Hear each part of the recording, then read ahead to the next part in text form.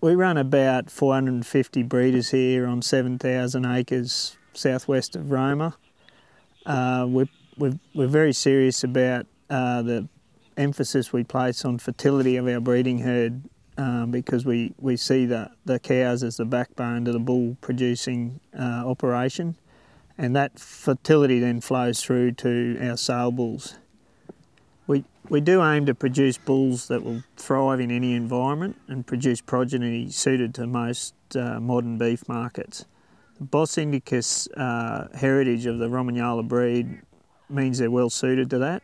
Uh, they're a lot uh, tougher than, than other Euro, Euro breeds, so they can handle the harsh conditions but still produce quality beef, uh, and that's what counts.